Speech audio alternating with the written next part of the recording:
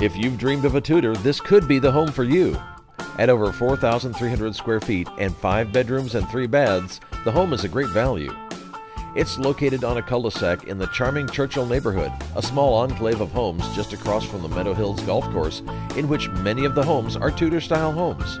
The home features a metal shake-style roof with a 20-year warranty, two-year-old furnace, newer hot water heater, and newly refreshed exterior paint. Janine O'Neill would love to help you make this home yours. Call now to learn more.